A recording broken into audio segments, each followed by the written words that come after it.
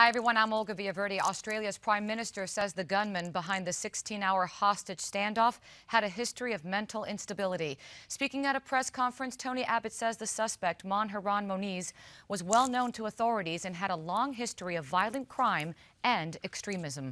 Meanwhile, Sydney, Australia authorities confirmed that Monis and two hostages were killed during that long siege at a chocolate shop and cafe.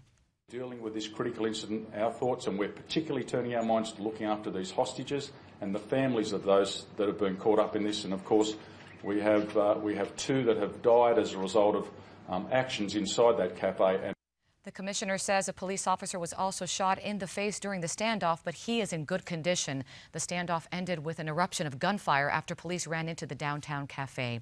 In Pennsylvania, police say six people are dead after a shooting spree there. Authorities have identified the suspect killer as Bradley Stone, and they say Stone had a family relationship with all of the victims. Schools in the region were locked down, and police say they're taking all necessary precautions. President Obama visits U.S. troops at a base in New Jersey to commemorate the end of operations in Afghanistan. This month, after more than 13 years, our combat mission in Afghanistan will be over. This month, America's war in Afghanistan will come to a responsible end. U.S. and NATO troops closed their command post in the country last week. Harry Reid, the Democratic leader in the Senate, warns his colleagues that they may be working weekends. The threat comes as the upper chamber works to confirm 23 of President Obama's political nominations, including a new Surgeon General and Deputy Secretary of State.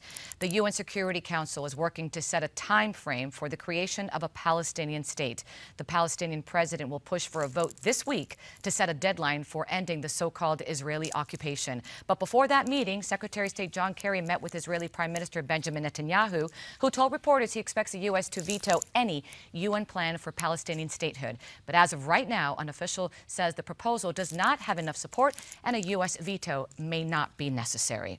Japanese voters may say yes to more Abenomics. Prime Minister Shinzo Abe called snap elections last month after Japan sunk into a recession. Although voter turnout was very low, Abe's policies of government stimulus and lower interest rates still won out. Now he promises to boost wages and pursue deregulation.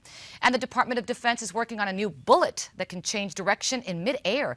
The secret program to develop such ammunition is called Exacto, and according to officials, the goal is to revolutionize the accuracy and range of sniper rifles. And that's your Newsmax Now update. Always stay connected right here to Newsmax.com.